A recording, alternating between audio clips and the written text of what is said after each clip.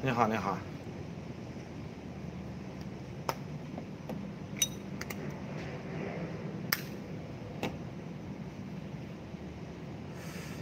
你好。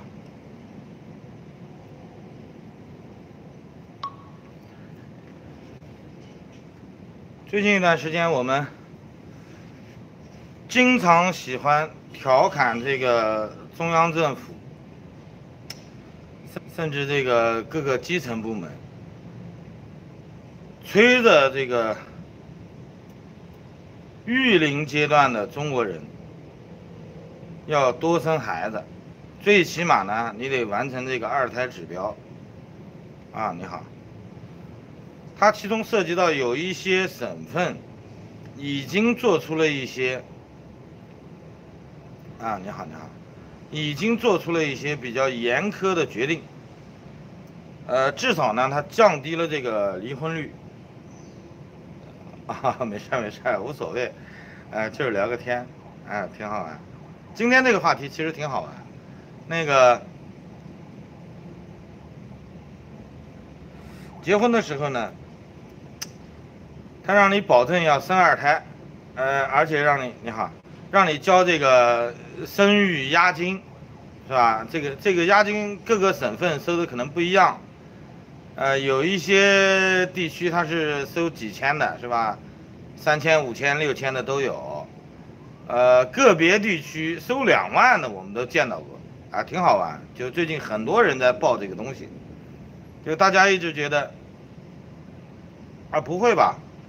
啊，今天又换了一个，换了一个有点卡了，这没办法啊，这这怎么说呢？他这个游客能够购买的卡。可能流量啊或者网络啊，它是有一定限制的，啊，这个没办法。呃，个别的省份它那个押押金单的开出来之后，已经有网友把它上传了，呃，确实存在基层逼着新婚夫妇保证生二胎的这个问题。啊，其实它唯一的好处就是降低了离婚率，对吧？你别说离婚了。你两个孩子没生完，那个指标没完成的情况下，你要是离婚了，估计这押金退不回来了就。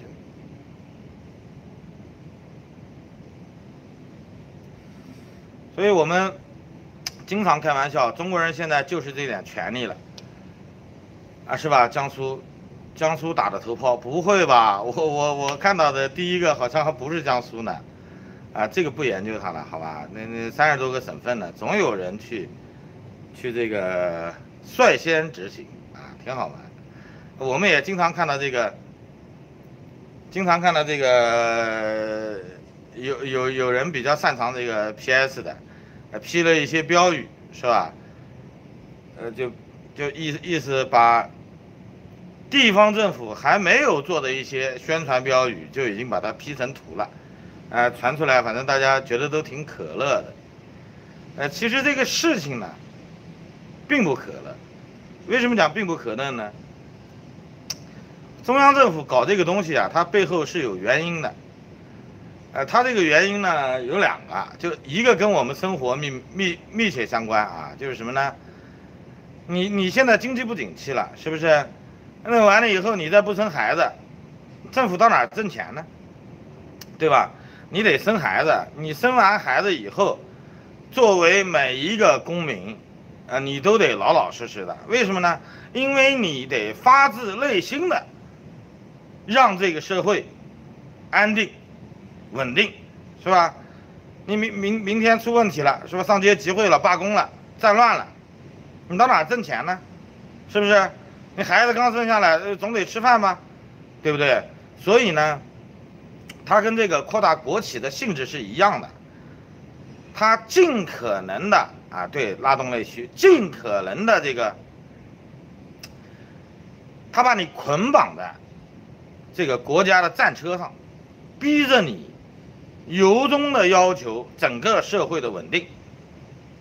而且我们经常说这个有恒产者有恒心，其实你有孩子也一样，你身边要有俩嗷嗷待待哺的这个孩子，你说。你说让你上街游行，是不是让你写大字报？你指定不干啊，对不对？那我得为孩子着想啊，明天我还得买料布呢。你把你把超市烧了，我到哪去买料布啊？是不是？奶粉呢？我家里不能存啊，这个东西它存多了以后它会板结，是不是啊？它也不安全。所以呢，跟我们密切相关的其实是是这这个方面，啊，它有点像那个汉朝的推恩令，知道吧？啊，就是说你你分的再多的王，那我现在让每一个王子都能分你的财产，自然我就削弱了你造反的能力。他现在呢，我们看到的就是一个平民版的这个推恩令，你孩子多了以后，是吧？你你给你钱，给他钱。你总得给他们钱吗？总得给他们财产吧。完了以后，你不仅要维持社会稳定，就算你有点积蓄，你也得给这几个孩子分了。就你个人能够对国家经济的影响将变得越来越小，因为从经济总量上，他给你分化了。那么孩子你得上学吧，是吧？你得看病吧，尤其是孩子在成长的过程中。呃，磕破个皮啊，断断个肋肋骨啊，这都很正常的事儿，是吧？男孩子更是这样，是吧？调皮捣蛋，那完了以后，你出了事儿，你总得去医院吧，是吧？它拉动了教育和医疗这两个主要的产业。那么，其实从国家层面上来看呢，出台这个政策，它背后还有一些东西。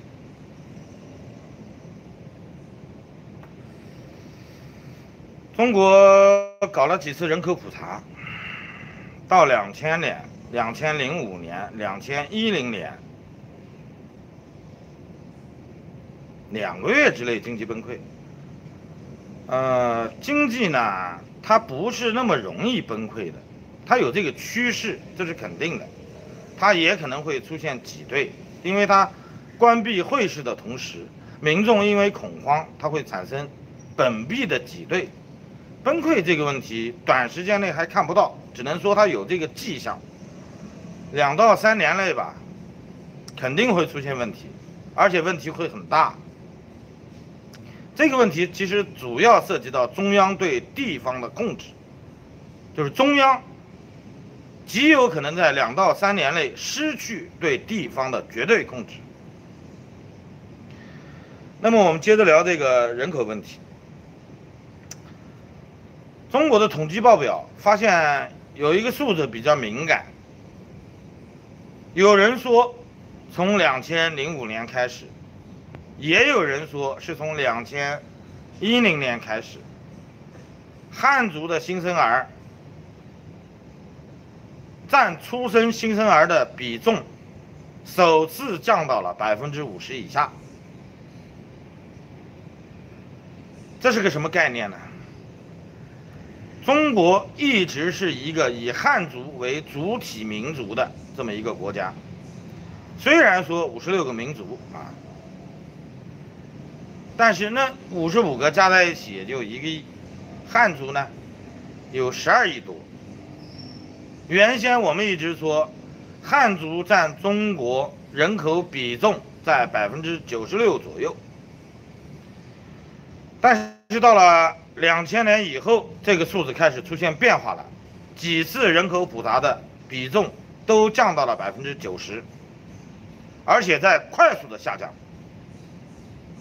也就意味着几千年来，我们汉族祖先打拼下来的这么一个国家，这样跟你说吧，汉族的祖先，它发源于河南，就是我们讲的这个商邑。那么总数它也不超过十万平方公里，现在你甭管他说九百万平方公里还是一千万平方公里，你不是充话费送来的，是几千年我们的先民靠各式各样的手段去实行的民族融合，或者说以汉民族为主体消化了其他民族，同化了其他民族。有一个比较简单的例子，我想大家都应该能有印象。你像那个三宝太监，那就不能算了啊。三宝太监他是穆罕默德的侄医，他是圣医啊。当然他是太监，对吧？他没留下孩子，所以你不存在同化他的问题。那么，对清末民初有一些了解的，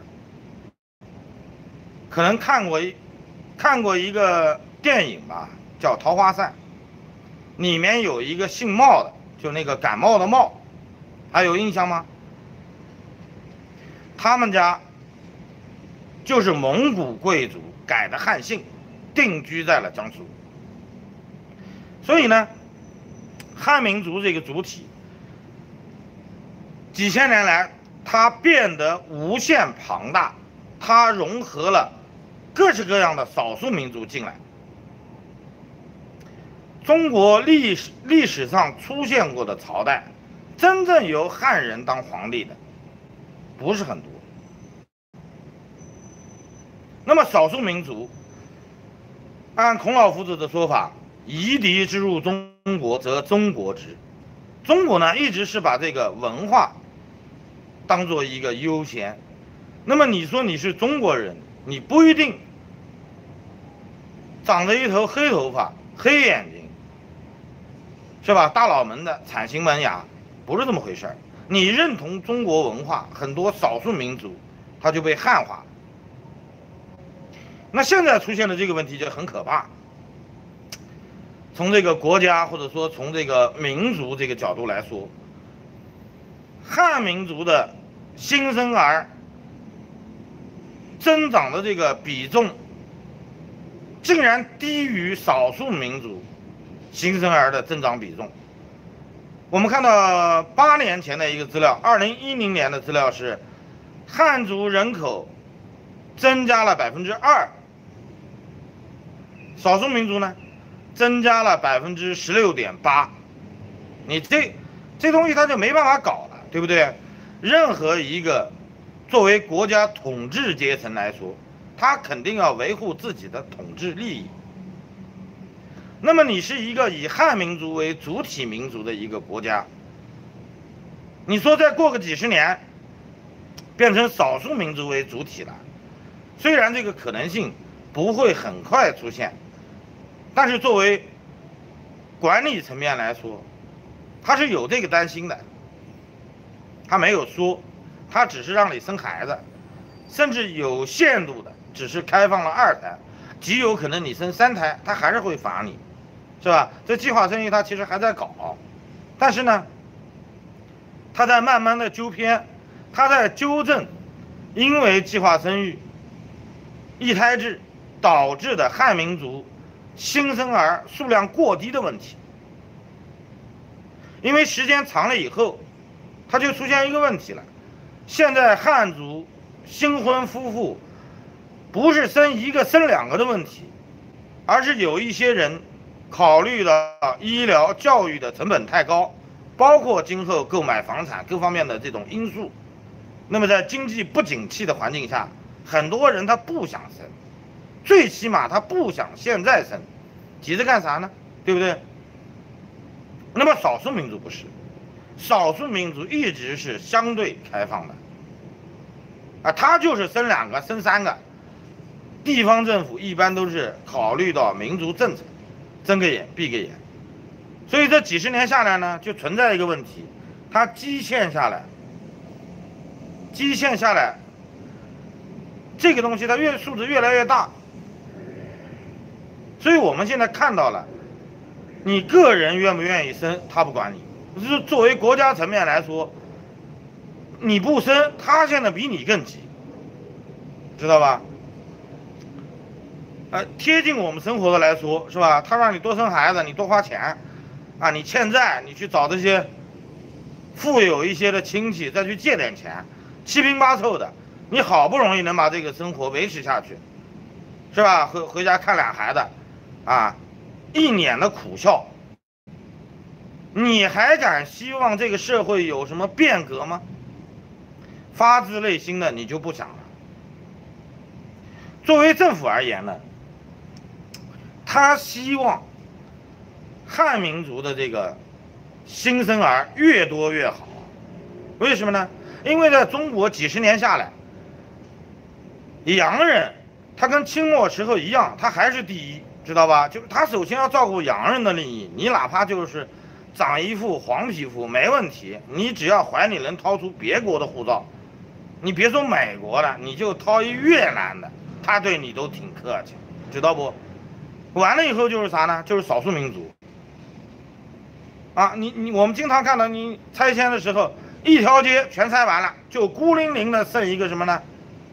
兰州拉面馆，对不对？你敢拆吗？你不太敢拆。说白了一句话，现在汉人在中国，而且全世界最排华的应该就是中国，是不是？作为汉民族来说，你好管呀，是不是？他觉得他打你一巴，是吧？关你两天没事儿。他没拿你当回事儿，是不是？你现在这个东西就很麻烦，所以呢，他一看呀，这好管的不肯生，是不是？生出来的全是不好不好动的，全是刺头，所以他也急，他比你更急，对不对？其实从国防上来说，军事上他也需要一个加强主体这个军队主体的问题。你比如说，你是一个。汉民族为主体的国家，那你马上很快啊，十几年以后新生儿长长大了当兵了，你从征兵的时候你发现不对啊，我我来报名的咋少数民族的比汉人还多，你到了军队以后他不好管呀，是不是？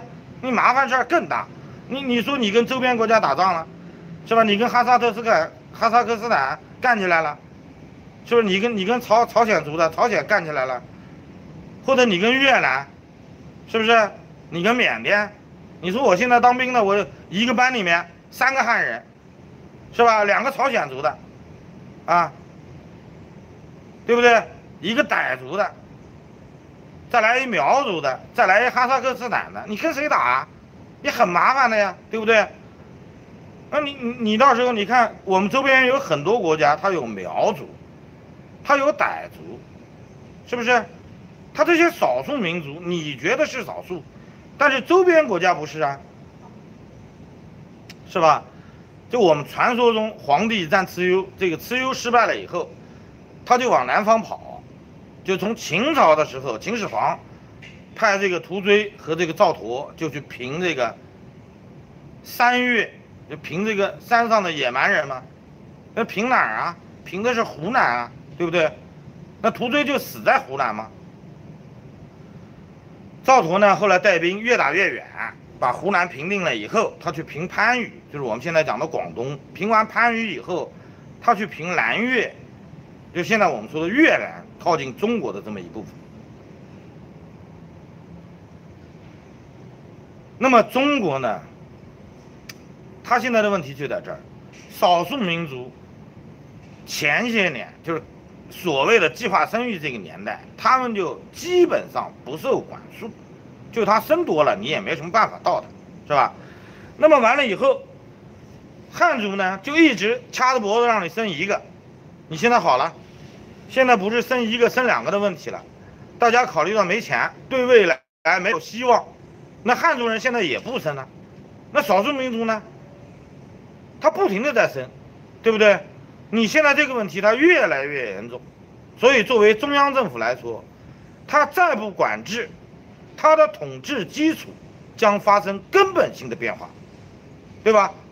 那所以呢，我们不是说开开玩笑的问题，有的时候你骂他两句，但归根到底，所有的政策，它出台它是有自己的原因的。作为我们现在来说。生不生孩子不是问题，最主要的是你要搞清楚，不要仅仅骂两句，说你现在逼得我生生生第二个孩子了，是吧？我我马上都四十了，我操，生出来质量怎么样？呃，老婆是个高龄产妇了，是吧？哎，但不是，其实呢，作为政府来说，它不仅是拉动内需，它还考虑到以后国家的主体，保卫它这个政权的这个兵源，是吧？它考虑到各个层面。所以我们现在看到这个问题呢，它不是一笑而过的，背后有很多东西。我呢看东西比较浅，只能是抛砖引玉，好吧？那聊就聊到这，聊到这儿啊，大家闲着没事儿呢，可以多看看其他的资料，延伸阅读一下。我觉得这个问题它不仅仅是一个政治问题，它其实涉及到很多东西，它对中国未来的经济、人口，包括这个，哎，中国还有一个特点，中国可能是这个世界上很少的，我不能确定它是唯一的啊，就反正我没看见过先例，就是没有进入工业化或者说没有富裕呢。他就先进入老龄化的这个社会，啊，这是我没看到过先例，真的挺好玩。计划生育这个政策，我们抨击了它无数遍，其实它现在还是一个计划生育，它指挥你让你生俩，或者说逼着你生，它还是一个计划生育的问题。只是呢，计划生育的问题不是这么简单的，不是骂两句就能解决的，它背后有很多东西。抽时间，大家闲的没事儿可以看一看，我觉得挺好。新的个税，啊，不是不是，它那个这个东西马上以后要出来的更多，要出来的更多。